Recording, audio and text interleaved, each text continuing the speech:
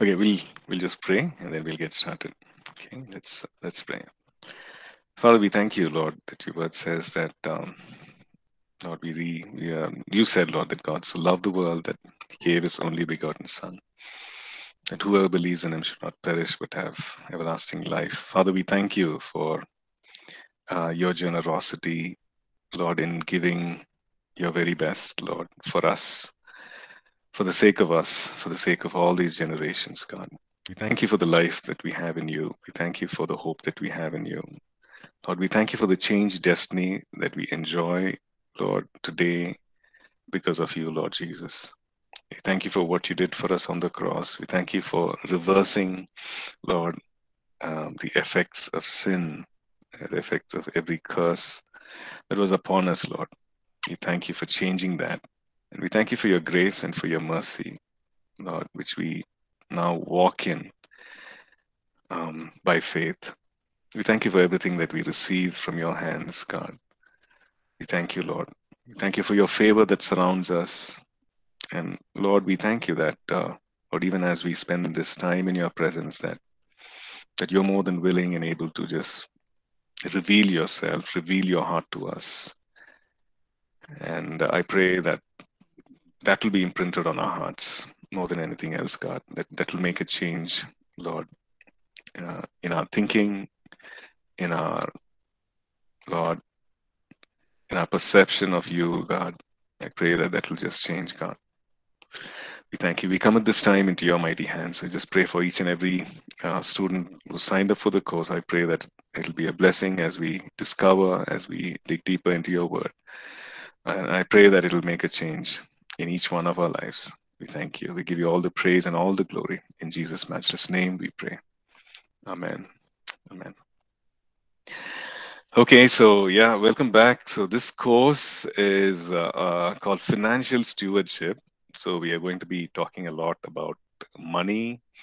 We're going to be talking, uh, looking into what the Word of God talks about money and uh, uh, wealth and prosperity and so on. So in terms of evaluation, um, assessment, we'll have two quizzes. Uh, one probably by end of February or beginning of March, and one by the end of uh, April or the third week of April. Right, so that will be uh, the assessment, and uh, and and of course, you know, like you've seen the schedule, we'll have one hour uh, weekly, which will be on the Thursday of every week, uh, one hour only. So it's a it's a it's really a short course, and um, so we're going to be um, looking at uh, uh, first of all, we're going to be looking at uh, money, wealth, prosperity, you know, uh, God's perspective of it. And the second part of it is uh, stewardship. You know, how do we um, steward it, right? Uh, well, you know, oversee it, take care of it, use it in the right way possible. Okay. Um, so yeah, so as we get into the, the course material has been uploaded in the classwork section. You may have seen it already. You can download it and follow through uh, as we go through the class. Okay, so before we before I share the notes with you on screen, um, just wanted to make a few opening comments to say that uh, you know this whole aspect of money, uh, this whole aspect of um, wealth and prosperity has really been tainted. You know, in the sense we all of us know that we need money and all of us know that you know if you're working professionally that uh, you you want to work towards earning well nobody work works towards uh, you know uh, progressively earning less and less of money everybody wants to you know do well work well earn well um, etc. But the thing is, though, for us as believers, the church, as believers, as followers of the Lord Jesus, um, either because of maybe wrong models, wrong role models in ministry, or the abuse of money and wealth in ministry, or maybe because of uh, you know uh, greed and covetousness and worldliness which has uh, probably crept into the best of believers, the best of you know ministries and so on. So we, because of you know the wrong role models or they're not so perfect role models, you know we we kind of uh, have a very fuzzy perception or not very unclear you know not very clear where we stand with regard to money. You know for example things like uh, you know this happened to me uh, this was in a church where i used to you know fellowship many years ago. And uh, a friend of mine and uh, both of us we were talking after the service. We was you know after service just standing inside the church sanctuary and then just talking and uh, we got to talk about many things and then we, we kind of were talking about uh, work. You know, both of us were working in different companies at that time. So, just talking about work professionally, how we were doing, and and suddenly, you know, I I he uh, I remember he said, you know, let's let's go outside the church and talk. You know, because we were talking about work, we were talking about appraisals, we were talking about um, you know uh, our salaries and uh, uh, what happened because so and then he he, he suddenly said you know let's let's go outside the church and talk uh, because we're talking about all these things. Um, you know let's it's not nice to talk inside the church you know as if to say that you know money and work and everything should not be spoken of in the church building but outside the church building. So you know uh, so it has been colored right? Money has been the whole thing of wealth prosperity if you mention prosperity itself you know there's so much um, it raises up you know stirs up people and you know i don't want to have anything to do with it. But at the same time you know we struggle right? Uh, as a believer what should i do? Because there is a need for money. Uh, how should i rightfully use it there is a need because in ministry you know that bills have to be paid uh, people have to be fed, clothes have to be bought, you know, needs uh, have to be met, and uh, for all that, there is the requirement of money. Right? Uh, you know, any noble ministry, you know, any well-meaning, sincere ministry requires finances, right? For to to function day to day, to grow, to help others, there is a need for finances. So it's it's good for us to understand you know what does the bible talk about money? What does the bible talk about finances? Okay maybe there is a businessman.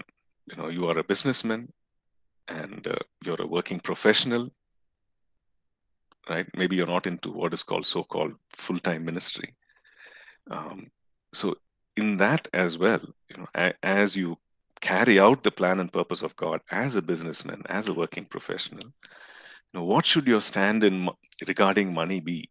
You know, there's no point in earning a lot, feeling guilty that hey, I cannot serve. You know, we we come across verses like you cannot serve God and mammon, and then say feeling guilty about the fact that there is money coming in, and uh, you know, not knowing how to you know, rightfully handle uh, money or how to give the right place for money uh, in in, a, in our life right?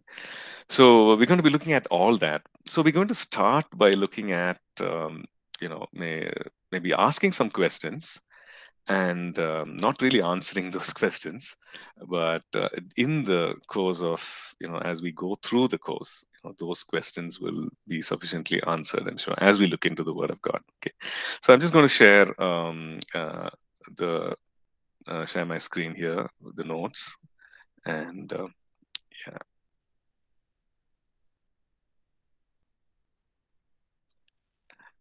Okay so there we go. Okay, so uh, so the word prosperity. Okay, so the word prosperity, if you look in the dictionary, it, it talks about doing well, thriving. When we say prosper, it involves wealth, right?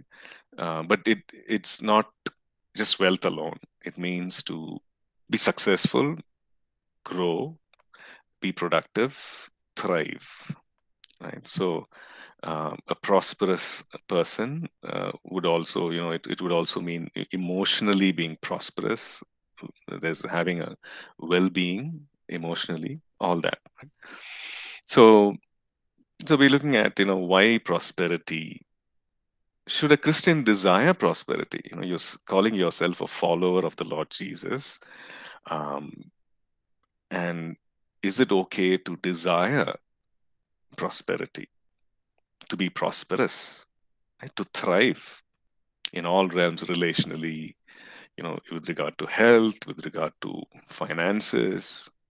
Is it okay for a Christian to desire that, right? And what should be my right motivation? What should be my motive for prosperity? Okay, so these are some questions that uh, I'm sure you know as believers as we uh, journey with the Lord. At some point or the other, you've asked. Okay, uh, we've asked ourselves that question, or and maybe we didn't really dwell too much on it, but we just moved on. Okay.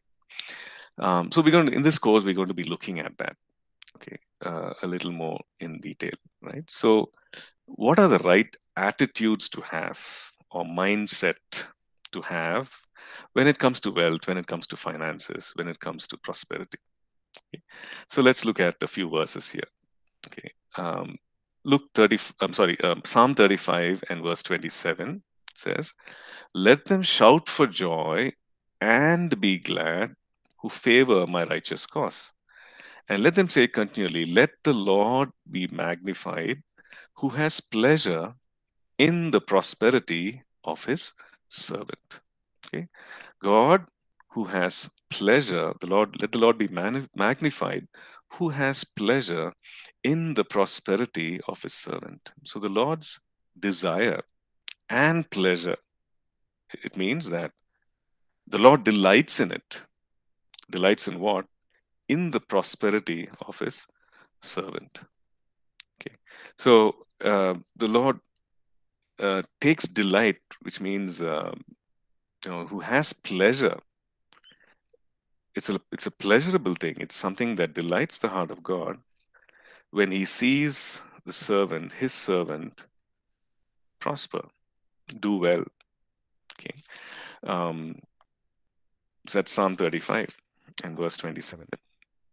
Okay, so that's something that that should you know that should really uh, for some it can be a very um, you know a paradigm shift. What the Lord has pleasure, He delights in the prosperity of His servant. Right, when a person does well, thrive well, uh, in all realms. Again, um, I'm using the word prosperity to talk about not just finances, but not just money, but about you know a well-rounded thing, everything in life, right? Um, relations and everything put together, emotions, physically, health-wise, you know, who takes pleasure in the prosperity of his servant. Okay, let's look at uh, Deuteronomy 8 and verse 18.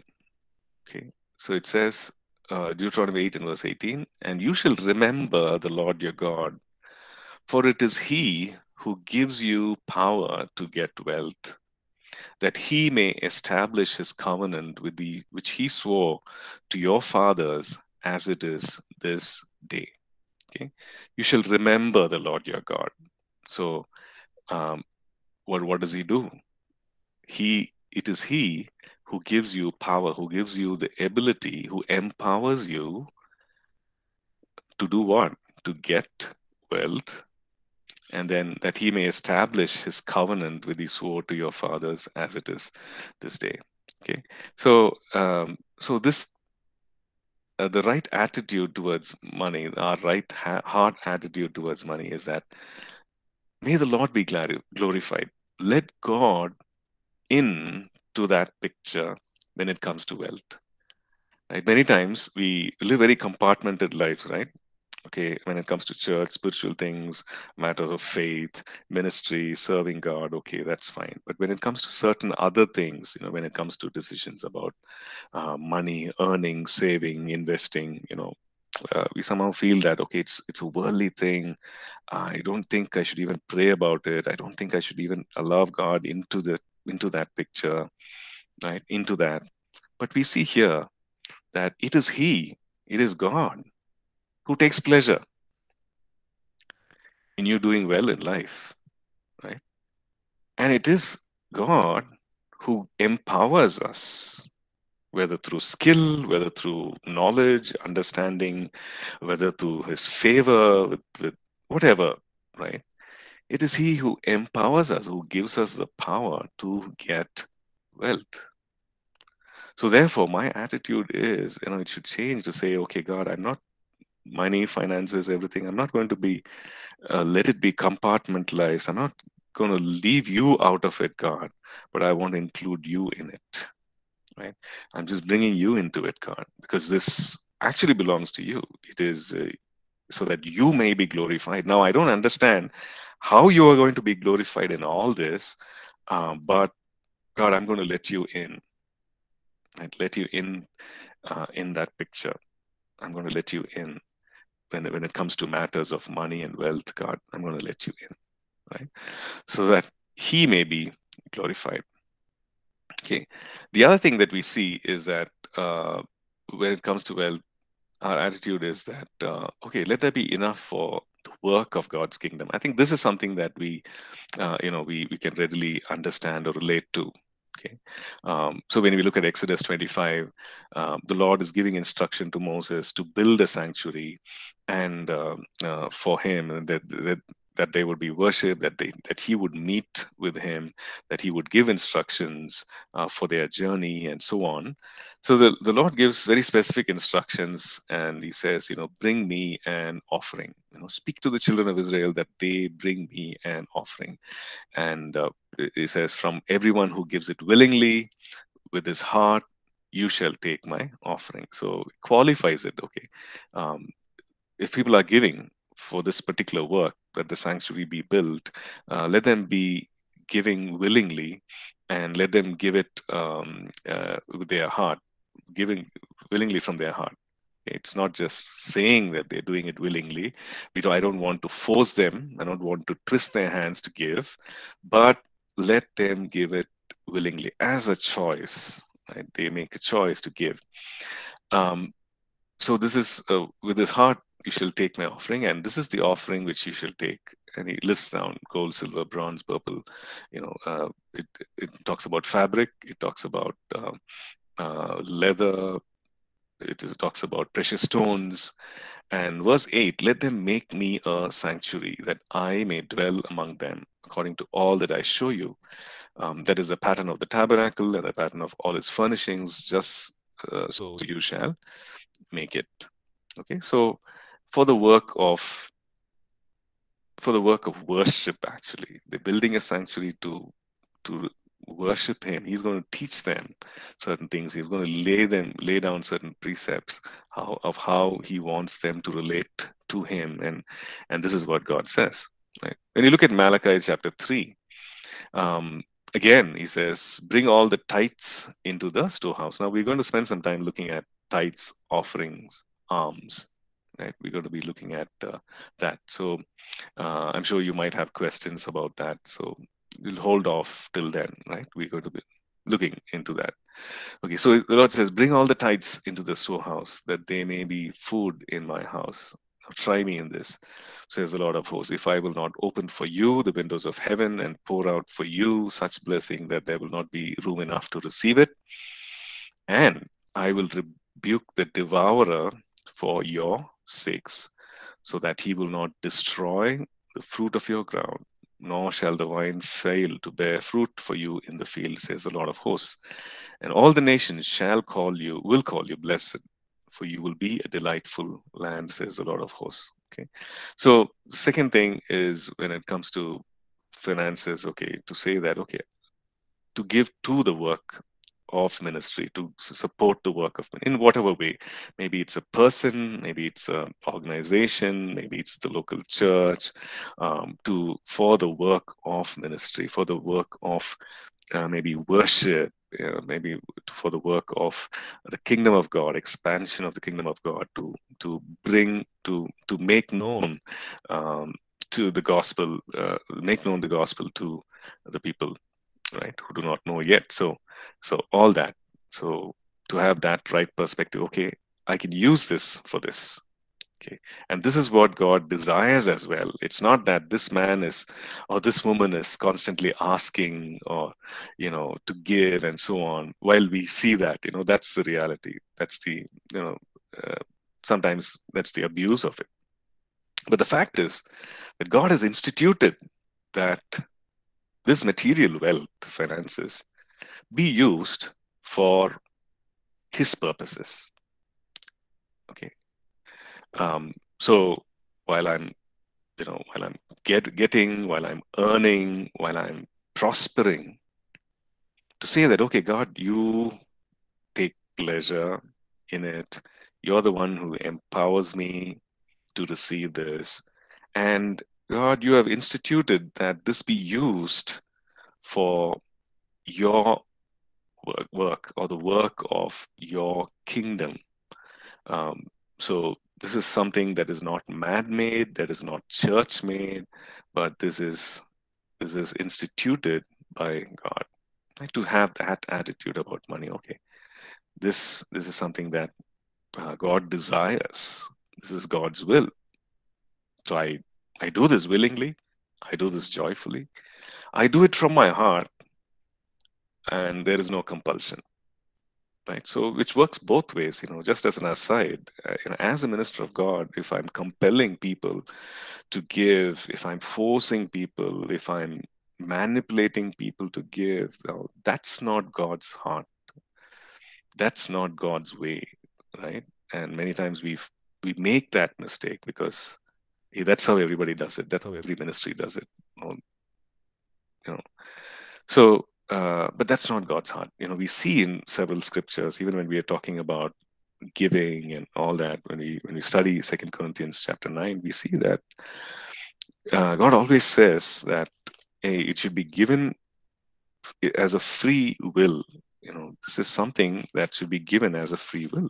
It's out of the desire of your heart, and uh, it is not something that you manipulate, you twist, and you force, you put shame and guilt and condemnation and, and and just you know take it out of people. No. That is not what it is right? So these are some attitudes to have. Be for us to correct and say okay god when i look at you when i look at your word you know forget all that's happening culturally in christendom christianity churchianity when i look at your word god this is your heart so i want to do it the right way right? Okay.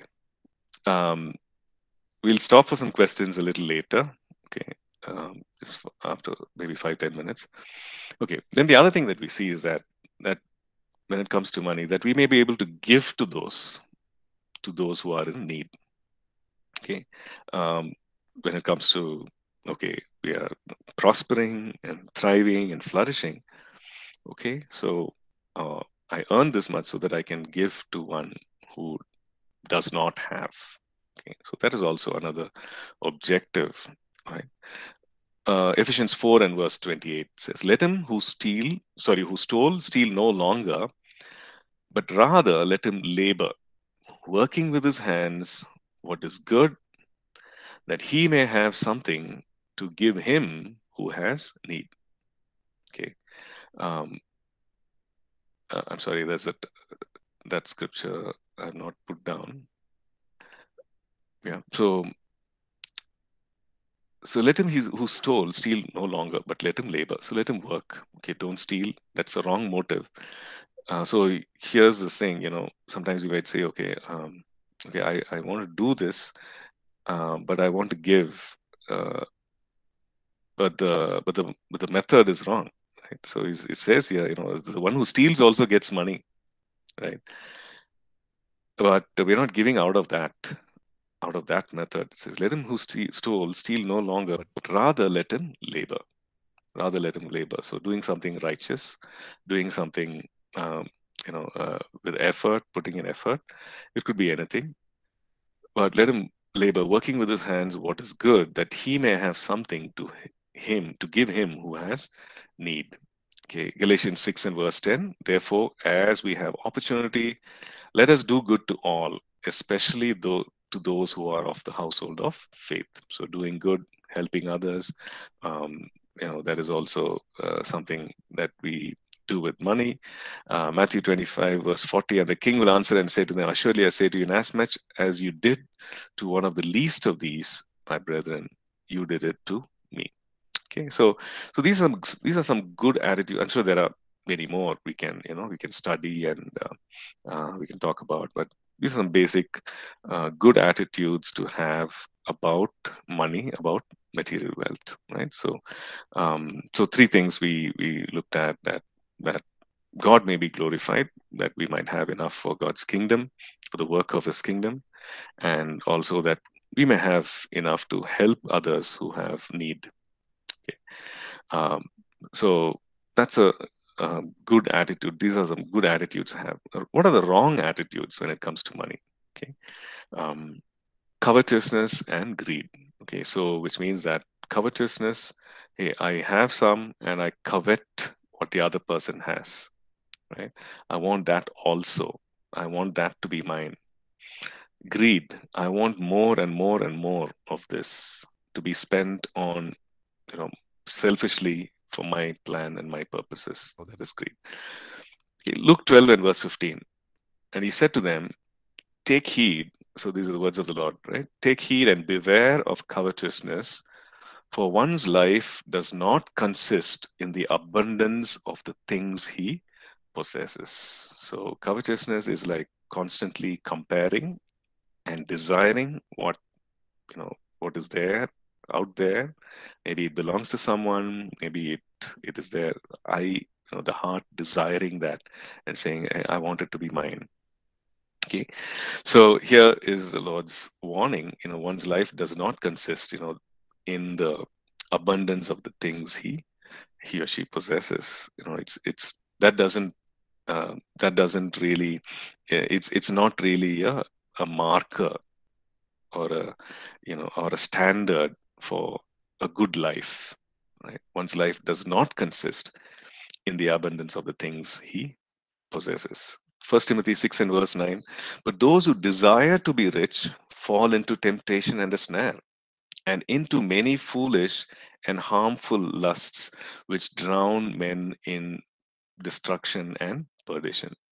Okay, again, a wrong desire, you know, because it's either greed or covetousness. Okay, so it's a it's a wrong desire, right? And and because of which there is there is always easy access that temptation has in our lives. Okay, we can really easily open the door for temptation and open the door and fall into a snare. A snare means a trap. It's like a trap for an animal, right? Uh, in which an animal gets caught. Something that allures or pulls and draws an animal into the trap, and then you know it's it's shut, catches the animal, right? So those are desire if this is their overwhelming desire, I want to have more, I want to have more, I want to have more of it, then we are actually becoming vulnerable to temptation. It could be any form of temptation, something that in uh, something that you know invites us to commit sin. And also it becomes a snare, it traps us so that we, we fall into many foolish and harmful lusts, desires, right? Um, so it it just keeps growing, and it, it is foolish, harmful, um, which results in destruction of a person's life, right? And the lives of those those who are connected with us. That's the sad part, you know, when it's a family, when it's friends, a family. So, uh, so yeah, there's a warning which Paul writes to Timothy, and he says, you know, this is what happens. So we're going to look at a verse which comes later uh, in the same chapter, chapter 6 and verse 17, which actually gives the balance, right? Um, so we're going to look at that. Okay. Um, Hebrews 13, verse 5 let your conduct be without covetousness, be content with such things as you have. For he himself has said, I will never leave you nor forsake you. So the writer of Hebrews is saying, be content. Um, let your conduct, your behavior, the way you live your life, let it be without covetousness, you know, without uh, having this driving desire. I need to more, I need to have more, I need to have more of that. um, be content. Okay, for he himself has said, I will never leave you nor forsake you. So the thing is that you have the Lord Jesus as your possession. Never forget that. You have the Lord Jesus as your inheritance. You know, never forget that. You have the source himself. You have the one who, who created all things. Uh, and he has said that he will never leave and he will never forsake. Uh, and we're going to see that he's the provider. He's the one who empowers us to get wealth. He is the one who delights in us prospering. So, why should you have covetousness and greed? Right. So it's a it's a thin line, right?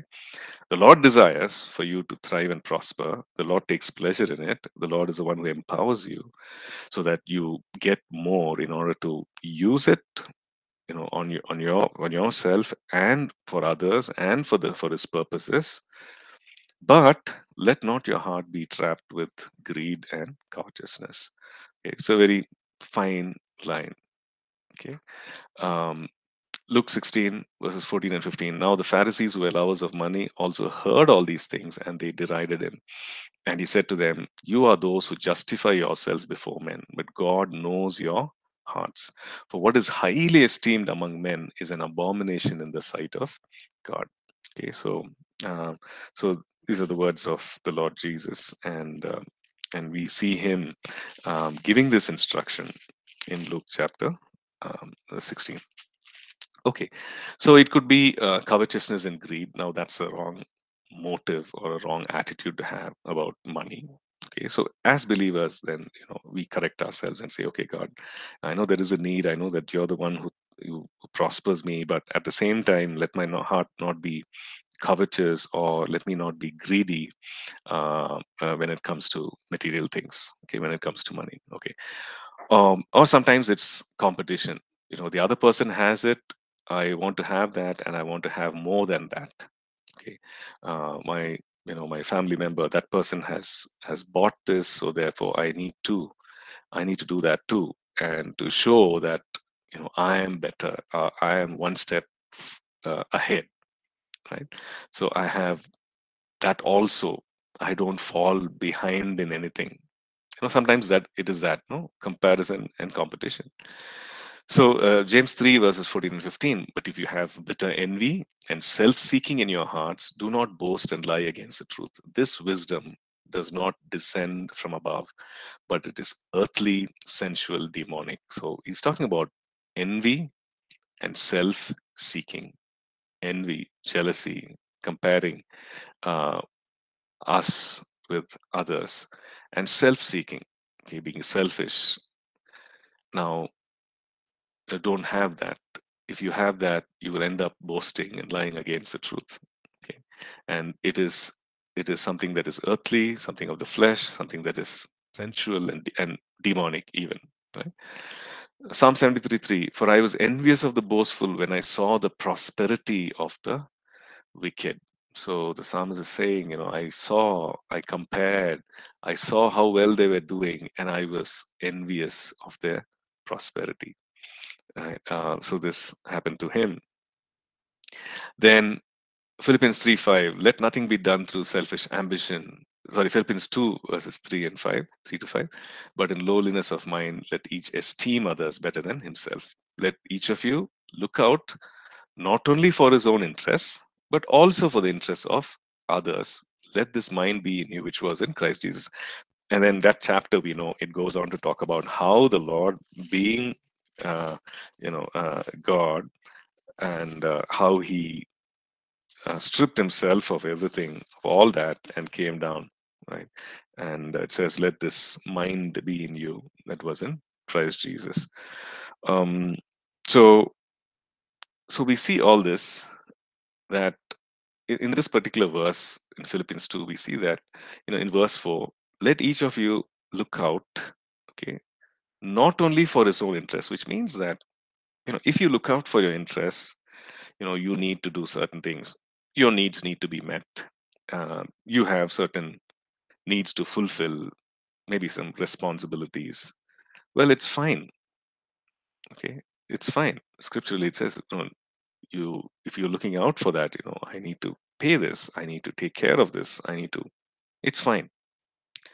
But you know, it says, look out not only for this, but also.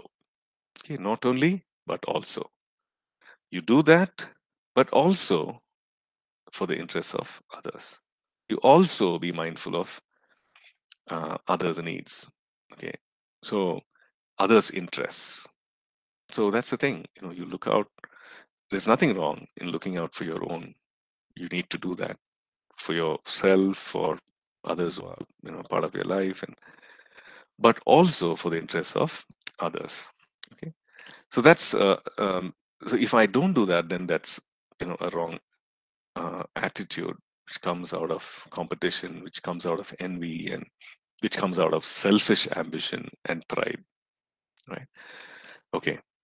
Um, what's another one? You know, this is this is interesting. You know, false spirituality. Okay, when you say false spirituality, um, it could go either way. Okay, it could it could be with regard to not having anything. Okay, uh, oh, I'm very spiritual. Uh, sometimes we say, you know, it's a very you know very holy person, very spiritual person. Uh, why? Because that person, you know, does not have any material things at all. You know, has totally let go of it. Literally living uh, in poverty. Okay. Now we could have we could equate that to spirituality, or we could even make the mistake of saying, "Hey, that person, you know, he has all this, he has all this. Therefore, God must be very happy you know god is blessing is living in so much of blessing and abundance and therefore you know that person is very spiritual or thriving spiritually you know, like two ends of the spectrum like poverty abundance. Now we if we equate that to spirituality then it's a false spirituality okay? Now let's look at what the bible has to say. James chapter 2 verses 1 to 5 um, my brethren, do not hold the faith of our Lord Jesus Christ, the Lord of glory, with partiality. For if there should come into your assembly a man with gold rings in fine apparel, and there should also come in a poor man in filthy clothes, and you pay attention to the one wearing the fine clothes and say to him, You sit here in a good place, and say to the poor man, You stand there, or sit here at my footstool, have you not shown partiality among yourselves and become judges with evil thoughts. Listen, my beloved brethren, has God not chosen the poor of this world to be rich in faith and heirs of the kingdom which he promised to those who love him? Okay, so this is God's heart. So we cannot be partial because a man or a person is wealthy. Okay, nor can we equate that to doing well spiritually or being uh, you know doing the uh, we, we cannot equate that to spiritually thriving and spirituality okay then now that would be a false spirituality right then the other thing that we see is that um, uh, in first timothy chapter 6 uh, verses 3 to 6 if anyone teaches otherwise and does not consent to wholesome words, even the words of our Lord Jesus Christ, and to the doctrine which accords with godliness, he is proud, knowing nothing, but is obsessed with disputes and arguments over words, from which come envy, strife, reviling, evil suspicions, uh, useless wranglings of men. Of corrupt minds and destitute of the truth, that who suppose that godliness is a means of gain. Okay, so this goes about uh, you know describing uh, they are not uh, consenting to wholesome words, the words of the Lord Jesus, the doctrine which uh, which is in line with godliness, etc. Somebody who's proud, who's envious, who uh, there's strife and all that which is there, um, who supposes, who thinks that godliness is a means of gain. Okay, so okay, why are we doing this? Why are you in ministry? Why are you serving God? Oh, I want to become rich. Right. So uh, Paul has some very strong words. He says, From such withdraw yourself. Now, godliness with contentment is great gain. Okay. So, to equate prosperity, wealth, uh, with spirituality or to say that okay that person is thriving doing well spiritually. Now that's uh, that's false. That's a false um, judgment. Uh, it does it is not right okay. At the same time to go back to that other extreme and say that person does not have anything and is extremely poor and therefore must be a very spiritual person. That is also wrong. That is also wrong right? So um, both are wrong. Okay. Now godliness with contentment is great gain. Um, we looked at the other i just want to remind us again it is god who gives us the power to get wealth. He takes pleasure in the prosperity of his servants. Um, and we're going to look at several other scriptures where it is it is God who ins, it who instituted that the wealth be used for you know to to help others to help the cause of the kingdom and so on. So um, we need to keep that in mind. We need to uh, you know keep that in perspective right? Okay then uh, we, we might sometimes think that okay money makes us secure. You know several verses here. I'm just going to look at uh, uh, a couple of those. Okay the first one is first timothy 6 and verse 17 uh, where paul says command those who are rich in this present age not to be haughty which means not to be proud nor to trust in uncertain riches but in the living God who gives us richly all things to enjoy. You know, there's a lot in this verse, right, which gives us uh, the correct attitude or the perspective that we should have about wealth. Okay, he says, command those who are rich. Okay, here are people who are having everything. Okay, who are maybe wealthy with regard to you know money in the bank, maybe living a comfortable life. They have you know with regard to material things, there is no lack. So he's saying, command those who are rich in, the, in this present age not to be haughty, not to be proud, not to become proud because of their wealth. Okay, not to be proud. And the second thing is, let them not put their trust in these riches because these riches can one day be there and another day be wiped out? Uh, business business can turn bad, economy can turn bad, and I think people realize that you know in the pandemic and like many businesses, many things that we knew personally, people had to kind of change, do something else, right, and not really continue in that kind of a business. So. Um, so, so Paul's writing and says, no, let them not trust, put their trust you know their hope their trust and build their life on that you know because these riches can be uncertain. But in the living god which means let them let them not be proud let them not put their trust in these riches but let them put their trust in the living god. Okay what he uh, says next is very interesting. He says who gives us richly all things to enjoy. Okay, let me say that again, right? This living God who gives us richly all things to enjoy. So that's God who's a giver, who's a generous giver, who gives us richly all things to enjoy. But with these riches, whatever he gives, don't make that an idol. Don't put your trust in that. Right? Don't become proud because of that. So he's Paul is saying command, you know, which means not just suggest, you, you command, tell them, tell them strongly as a commandment. They have to obey.